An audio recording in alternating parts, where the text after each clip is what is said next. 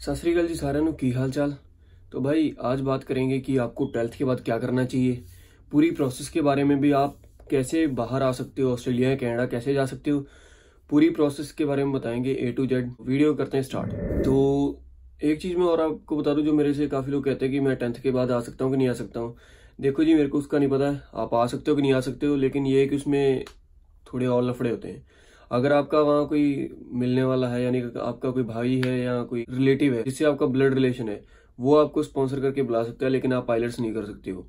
ये तो मेरे को श्योर है। लेकिन जो ट्वेल्थ वाले हैं तो ट्वेल्थ वाले कर सकते हैं। और एक चीज़ मैं पहले क्लियर कर दूँ, काफ़ी लोग ये भी मेरे से कहते हैं कि मेरी एज अट्ठारह से कम है, मैं आ पाऊँगा कि नहीं आ पाऊँगा, कुछ होगा कि नहीं होगा, मेरे को जॉब मिलेगी कि नहीं मिलेगी। तो भाई, यहाँ जॉब का सीन ये है कि यहाँ चौदह साल के ऊपर जो भी बच्चा है, वो काम कर सकता है। इंडिया में अठारह साल है, लेकिन यहाँ पे चौदह साल है। तो ऐसा कोई चक्कर नहीं है कि आपकी एज अट्ठारह से कम है तो आप काम नहीं कर पाओगे, यहाँ पर आप आराम से काम कर पाओगे, कोई दिक्कत नहीं है। लेकिन एक इश्यू आ जाएगा आपको कि इंडिया में जैसे आप फ़ीस जो पे करनी होगी तो फिर आपके पापा के अकाउंट से जाएगी, क्योंकि आपके पास पैन कार्ड नहीं होगा। तो पैन कार्ड ज़रूरी होना चाहिए, शायद पैन कार्ड अट्ठारह साल से नीचे वाले का किसी का नहीं बनता। शायद ये मेरे को कन्फर्म नहीं है। अगर बनता तो भाई बनवा लो, बाकी अट्ठारह साल से नीचे का तो बनता नहीं है। तो फ़ीस वगैरह आपके पापा के अकाउंट से ही जाएगी। बस इतनी सी बात है, कोई ज़्यादा इश्यू है नहीं। और आप इधर आके आराम से काम भी कर सकते हो। तो अब बात करते हैं जी ट्वेल्थ के बाद क्या करना चाहिए। तो पहले मैं अपना बता देता हूँ कि मैंने क्या क्या किया और कब कब किया जी, दो हज़ार बारह में मैंने ट्वेल्थ पास की थी। तो उसके बाद तो मेरे से काफ़ी लोग पूछते हैं, भाई, कौन से सब्जेक्ट थे? तो भाई, सुन लो, मेरे पास थे जी फिजिक्स केमिस्ट्री मैथ तो इसलिए पहली बार मैं फेल हो गया था। ठीक है? तो दोबारा मेहनत करी तो पास हो गए। तो ट्वेल्थ के बाद जी मैंने जेटकिंग की। जेटकिंग एक कंप्यूटर के हार्डवेयर और नेटवर्किंग का कोर्स होता है। तो उस, वो था जी मेरा दो साल का। दो साल के बाद में मैंने, दो साल पूरे नहीं हुए थे। मेरे यानी कि एक साल, एक महीने हुआ था, यानी कि तेरह महीने हुए थे। तो कैंपस प्लेसमेंट हुआ था। तो उसमें इंटरव्यू वगैरह हुए थे तो आपका भाई सिलेक्ट हो गया था आपके भाई ने जॉब भी करी। तो लगभग वो सात आठ महीने आपके भाई ने जॉब करी। तो वो जो डिप्लोमा था हार्डवेयर और कंप्यूटर नेटवर्किंग का जो भी था, उन्होंने मेरे को वैसे ही दे दिया था क्योंकि मैं, मेरे को प्लेसमेंट हो गया था। तो ऑलरेडी मेरे को आता था चीज़ें। तो मैंने खाली एग्ज़ाम देने आता था मैं और एग्ज़ाम क्लियर करके मेरे को उन्होंने सर्टिफिकेट दे दिया। तो जी, दो साल का मेरा वो था। उसके बाद जी मैंने 2014 से मैंने स्टार्ट करी अपनी बी सी ए दो हज़ार चौदह से लेके 2017 तक मेरी बी सी थी, क्योंकि 2016 के दिसंबर में मेरे एग्ज़ाम हो गए थे। और 2017 की अप्रैल तक मेरा रिज़ल्ट वगैरह आ गया था, डिग्री वगैरह मेरे पास। तो जो प्रोविजनल डिग्री होती है वो मतलब पूरी वाली डिग्री नहीं प्रोविजनल डिग्री मेरे को मिल गई थी ताकि मैं अप्लाई कर पाऊँ। तो फिर मैंने आईलेट्स चालू करी। तो आईलेट्स का सीन ये था कि आपके भाई को पूरा साल लग गया आईलेट्स करते हुए। तीन बार आईलेट्स करिए तीनों बार आए छः चाहिए तो इसलिए पहले कनाडा का मूड था, मैंने आपको वीडियोस में बताया। तो आपका भाई नहीं वहाँ गया। क्योंकि वहाँ के लिए चाहिए थे साढ़े छः ग्रेजुएट स्टूडेंट को। वो उतने अपने थे नहीं तो इधर को आ गए तो इधर आए अच्छा हुआ। मेरा था जी दो साल का गैप लेकिन उसमें मेरी जॉब भी थी दो हज़ार सत्रह के बाद। तो वो भी मेरा मेंशन हुआ उसमें सब कुछ। तो गैप दो साल तक का तो चल जाता है, क्योंकि मेरा जी दो साल का गैप था, मेरी जॉब भी थी। तो लेकिन ये कि आपका जेन्यून एक्सपीरियंस हो, तभी चलेगा। ऐसा ना हो कि आप फेक बनवा लो किसी भी दुकान से कि ऐसा है या वैसा है। क्योंकि वेरिफिकेशन आती है, आपको पूरा वेरीफाई करवाना पड़ता है वहाँ से। जब आपने काम किया होगा तो आपके ऑर्गेनाइजेशन को, आपको वेरीफाई करने में कोई परेशानी नहीं होगी। वो ए टू जेड चीज़ें पूछते हैं जो आपने लगाई होती हैं तो वो आप ध्यान दे लें इन चीज़ों का, नहीं तो आपका पत्ता गोल हो जाना है जी। मेरी प्रोसेस को टाइम लग गया जी लगभग।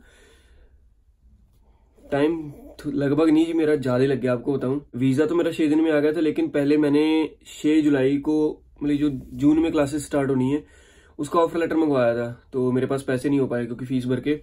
तो फिर मैंने वो प्लान ड्रॉप कर दिया, फिर मैंने फैब इन टेक का करवा लिया, उसी को कन्वर्ट करवा के। मेरे को करवाना था एजुकेशन लोन तो एजुकेशन लोन में एक महीना लग जाता है। ये इन चीज़ों का थोड़ा ध्यान दे लें कि जितना जल्दी आपका हो पाए, आप उतनी जल्दी करवा लें एजुकेशन लोन तो। क्योंकि एजुकेशन लोन में एक महीने से लेके पैंतालीस दिन तक वो लगा देते हैं। एजुकेशन लोन के बाद जी अपना मेरे को सेंक्शन लेटर मिला। मैंने अपने एजेंट को दिया। एजेंट साहब ने फ़ाइल लगाने की प्रोसेस चालू कर दी। तो मेरा मेडिकल वगैरह आया तो मेडिकल करवाया। बाद में जब फ़ीस वगैरह गई तो जीटी क्लियर होके आ गई फंड मेरे गए नहीं थे क्योंकि मेरा एजुकेशन लोन था। तो इसके बाद मेरा हुआ था जी सी e आने के बाद मेरी फ़ाइल लग और छः दिन में वीज़ा आ गया। ये तो थी मेरी कहानी। अब मैं आपको बताऊँ कि आपको जो ट्वेल्थ वाले हैं, उनको क्या करना है। ट्वेल्थ का रिज़ल्ट आए। जब तक आपका ट्वेल्थ का रिज़ल्ट आ रहा है, तब तक आप आइलर्स कर लें। क्योंकि ट्वेल्थ का अपना रिज़ल्ट आता है। अब तो चलो आ ही गया है। अब तो बात खत्म है। अब जो आइलट्स करने वाले भाई, जिस किसी ने भी ऑस्ट्रेलिया आना या जिस किसी ने भी कनाडा जाना तो अभी से अपनी तैयारी कर लो बिल्कुल, क्योंकि मई चल रहा है, मई मई में आप अच्छे से पास कर लो, अपना आइलट्स का एग्ज़ाम दे लो, अपना ऑफ़र लेटर मंगवा लो, ऑस्ट्रेलिया वाले अगर तो आपकी जून के पंद्रह तक फ़ाइल लग जाती तो तो ठीक है, उसके बाद मत फ़ाइल लगाना, क्योंकि उसके बाद रिस्क हो जाता है। वैसे कोई डेडलाइन नहीं होती ऑस्ट्रेलिया की, लेकिन फिर भी अपनी भाई सेफ़ साइड पकड़ के चलो रिस्क नहीं लेना है। और जिन्होंने कनाडा जाना है तो वो उनका सितंबर इनटेक है तो वो आराम से लगा सकते हैं, क्योंकि कनाडा की तीस दिन पहले फाइलें बंद हो जाती हैं इनटेक चालू होने से। तो ये चीज़ें हैं थोड़ी बहुत, इन चीज़ों का थोड़ा ध्यान दे लें। आप आइलेट्स करें पहले, फिर आप कोई कंसल्टेंट ढूंढें, नहीं तो आपने जहाँ से आइलेट्स करी है तो आप वहीं से भी अप्लाई करवा सकते हैं, अपना कोई इशू नहीं है। अपना कोई अच्छा सा कंसल्टेंट ढूंढें, आपकी मार्कशीट आ गई आइलेट्स वाली टीआरएफ जिसको कहते हैं, आप अपना ऑफ़र लेटर अप्लाई करेंगे। आपका यूनिवर्सिटी कोई भी आप चूज़ कर ले जो आपको चूज़ कर, करनी है नहीं तो आप अपने कंसल्टेंट से कह दे जो भी सस्ती है अच्छी है जहाँ मेरा कोर्स हो तो उसमें आप अप्लाई कर सकते हैं। कोर्स भाई अपनी स्टडी के रिलेटेड ही लें। अगर आपने फिजिक्स केमिस्ट्री मैथ्स से करी है तो आप जाके आगे ले सकते हैं। जैसे बीएससी वगैरह जो होती है मतलब मैथ्स वाले जितने होते हैं वो आप ले सकते हैं और आईटी वाले आप ले सकते हैं। अगर आप इधर उधर भागेंगे अगर कोई जैसे नर्सिंग का ले रहे हो या कोई और ले रहे हो तो आपके वीज़ा के चांसेस कम हो जाते हैं। ये ज़्यादातर बात बनती है जी कैनेडा में। ऑस्ट्रेलिया में तो थोड़ा बहुत जुगाड़ चल जाता है, लेकिन कनाडा में भाई रिफ्यूज हो जाता है। तो जो भी बंदा कनाडा जा रहा है, वो तो इस चीज़ का ज़रूर ध्यान दे, जिसमें आपने लास्ट स्टडी करी, उसी में आप आगे जाए। फर्दर स्टडी आपकी उसी रिलेटेड हो। तो जी, आपने यूनिवर्सिटी चूज़ कर ली, आपने ऑफ़र लेटर भी मंगवा लिया। तो ऑफ़र लेटर में भाई दस से बारह, पंद्रह दिन लग जाते हैं। कई बार बीच में छुट्टियाँ होती है यूनिवर्सिटी और कॉलेज की, आप सैटरडे संडे तो बीच में काउंट ही मत किया करो कि मेरे इतने दिन हो गए ऑफ़र लेटर को। क्योंकि सैटरडे संडे यूनिवर्सिटीज नहीं देती कुछ भी। क्योंकि संडे तो ऑफ़ होता ही सैटरडे को वैसे नहीं हो देते कुछ भी। इसके बाद जी ऑफ़र लेटर आने के बाद आपको अपने डॉक्यूमेंट्स इकट्ठे कर लो जी, जो मैं आपको बता दूँ। ऑफ़र लेटर में आपकी खाली अकेडमिक्स डॉक्यूमेंट्स ही जाने टेंथ और ट्वेल्थ की मार्कशीट जो ट्वेल्थ के बाद अप्लाई कर रहे हैं, जो ग्रेजुएशन के बाद कर रहे ग्रेजुएशन की मार्कशीट इतने आपके लगने और टीआरएफ आपके आइलेट्स वाली लगनी। बाकी जो आपके डॉक्यूमेंट्स है, जैसे अपना, अगर इंडिया से हो तो बाकी पाकिस्तान वालों के भी डॉक्यूमेंट होंगे जो उधर के होंगे, जैसे हमारे इंडिया में तो जी आधार कार्ड चलता है और पैन कार्ड चलता है। पाकिस्तान में भी कुछ ना कुछ चलता होगा टैक्स वाला और एक आइडेंटिटी ये चीज़ ज़रूर ध्यान दें। तो आप अपना आधार कार्ड, पैन कार्ड और पासपोर्ट। पासपोर्ट तो आपके पास हो गई जब आपने आइलेट्स का एग्ज़ाम दिया। आइलेट्स का एग्ज़ाम बिना पासपोर्ट के नहीं होता जी। तो ये भी ध्यान देने वाली चीज़ है भाई, जो लोग सोच रहे हैं ना आइलेट्स करने की तो पहले अपना पासपोर्ट बनवा लो, फिर देना आइलेट्स का एग्ज़ाम क्योंकि बिना पासपोर्ट के आइलेट्स का एग्ज़ाम नहीं होने वाला आपका।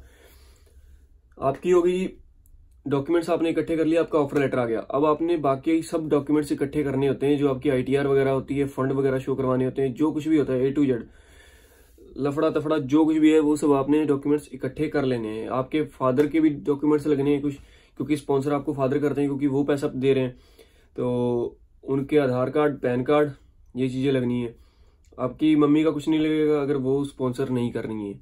अगर वो कर रही है तो उनका लगेगा, बाकी फादर का तो लगने ही लगना है। Offer letter clear documents clear तो अब बारी आती है जी अपने मेडिकल वगैरह की, क्योंकि फंड जब इधर से फंड्स वगैरह शो होने के लिए जाते तो एक हफ़्ते तक लग जाता है। तो जब उधर से फंड शो होके आते हैं तो मेडिकल का कोई सीन नहीं है। जब आप मर्ज़ी करवा लो, क्योंकि वो हैप आईडी बनती है। हैप आईडी से आप उधर वो इन्फॉर्मेशन पहुँच जाती है एम्बेसी तो मैंने तो पहले करवा लिया था अपना। इतना कोई इश्यू नहीं होता।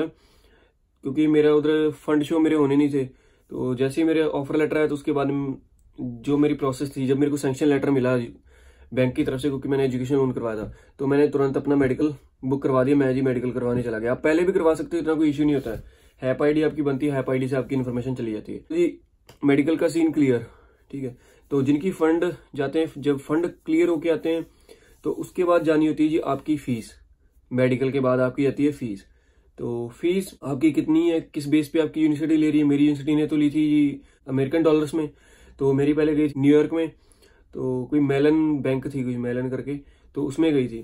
तो बड़ा लंबा पिलंदा बंदा जी, मेरी तभी फ़ीस थोड़ी ज़्यादा हो गई तो वो काम खराब हो गया जी। मेरा थोड़े महँगा पड़ा मेरे को। लेकिन ये था कि चलो वीज़ा आ गया। वो चीज़ हटती नहीं है बंदे को वीज़ा आ जाए। तो जी फ़ीस गई अपनी। फ़ीस जी मेरी जीटी जो होती है ना मतलब उधर से क्लियर होके आती है, वो मेरी दूसरे दिन आ गई थी। क्योंकि मेरी फ़ीस गई थी शायद सैटरडे गई थी संडे छुट्टी थी मंडे को मेरी जीटी क्लियर होके आ गई थी। अपना जीटी क्लियर होने के बाद जी सीओई अप्लाई करनी होती है। तो सीओई मेरी जी एक हफ़्ते के अंदर अंदर आ गई थी, पाँच दिन में आ गई थी।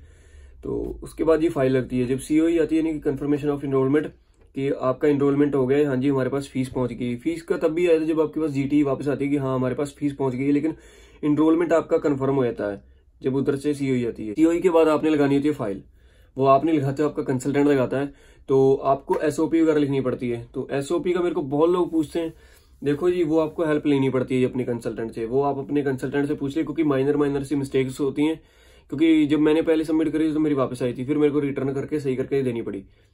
तो ये चीज़ों का थोड़ा ध्यान दें आप कंसल्टेंट से बात करें, वो आपकी हेल्प ज़रूर करेंगे क्योंकि वो आपकी फ़ाइल लगा रहे हैं। कुछ ना कुछ तो उनसे बात करें, वो आपकी हेल्प कर देंगे एसओपी में। तो एसओपी वगैरह लिखें, अच्छे से लिखें, आप अपनी फ़ाइल लगा दें। और जो भी डॉक्यूमेंट्स लगाना, वो सॉलिड लगाना। अगर गैप भी है तो उसका एक्सपीरियंस के भी सॉलिड ही लगाने हैं, बिल्कुल जेन्युइन तरीके वाले। तो आप जब फ़ाइल लगा देते हो, फिर आपके धड़कने बढ़ जाती है डेली भी अब क्या होगा, अब क्या होगा। तो जी मेरा छवें दिन वीज़ा आ गया था, क्योंकि मैंने और मेरे भाई जो मेलबर्न में हर्ष, आपको उसकी वीडियो अच्छी नहीं लगी। सॉरी जी उसके लिए, क्योंकि वो गया था वहाँ बीच पे। तो आवाज़ बहुत ही बैकग्राउंड में। मैंने उससे कहा था कि भाई, वीडियो अच्छी नहीं है। उसने कहा, भाई, तू कर दे अपलोड कोई दिक्कत नहीं। तो ये हमने कर दी। तो कुछ पब्लिक ने तो पसंद करी है, बाकी ज़्यादा लोगों ने तो वैसे ही कहा कि नहीं अच्छी है। क्योंकि भाई वॉइस नहीं अच्छी थी, बाकी फिर दूसरी बात है, भाई कुछ अंग्रेज़ी ज़्यादा पेल गया। तो अब उसको समझाया कि आगे से वीडियो अंग्रेज़ी में ना आए, अन्यथा आपका पत्ता काट दिया जाएगा। आपकी वीडियो नहीं आ पाएगी हमारे चैनल पे। भी मेरे साथ ही फ़ाइल लगाई थी, उसका ये था कि मेरे थोड़ा ना सेंक्शन लेटर के चक्कर में लेट हो गया था एजुकेशन लोन के चक्कर में। तो जिस दिन उसकी फ़्लाइट थी, मैं, उसने मेरे से एक बात कही थी, कह रहा कि देख तेरा वीज़ा आ जाएगा, जैसे उसकी फ़्लाइट थी। कह रहा, जैसे मैं जहाज़ में चढ़ूँगा, तेरा वीज़ा आ जाएगा। तो भाई जैसे उसकी फ़्लाइट उड़ी लास्ट मैसेज उसको किया हुआ था उधर से कंसल्टेंट का फ़ोन आ गया, कह रहे भी तेरा वीज़ा आ गया। तो बस मेरे को इतना था कि यार मैं उसको बता नहीं पाया, मैं उसको बताऊँगा अठारह घंटे के बाद।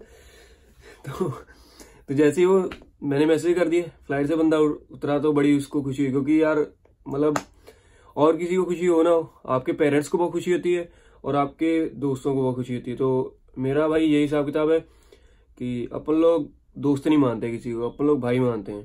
तो अपने सब भाई हैं। तो तभी मैं कभी नहीं कहता कि मेरा दोस्त है वो या ये है तो अपन कहते हैं कि भाई है वो अपना। बात बीच में रुक गई। तो बात ये थी कि आपका वीज़ा का अब मैं बता दूँ। वीज़ा अब रश ज़्यादा है तो वीज़ा थोड़ा देर से आएगा, लेकिन आएगा ज़रूर अगर आपने अच्छे कंसल्टेंट से लगवाया है और अच्छी यूनिवर्सिटी में अप्लाई किया है तो आएगा ज़रूर। इतनी तो श्योरिटी है। तो उम्मीद करते हैं जी, आपको काफ़ी कुछ पता लगा होगा। बाकी अब वीडियो आएँगी जी रेगुलर आएँगी। बीच में मैंने वो, कल मेरी वीडियो नहीं आई, क्योंकि जी मैं यूनिवर्सिटी गया था। मैंने ऑलरेडी बताया कि मेरी वीडियो डिलीट हो गई थी अंधेरे में तो शूट वगैरह करके पोस्ट कर दी। आप लोगों ने पसंद भी करी। थैंक यू जी इसके लिए। तो मिलते हैं नेक्स्ट वीडियो में। तब तक के लिए बाय बाय अपना ख्याल रखें। और ट्राईपॉड टूटा है। ट्राईपॉड की बात चल रही है। लेंगे।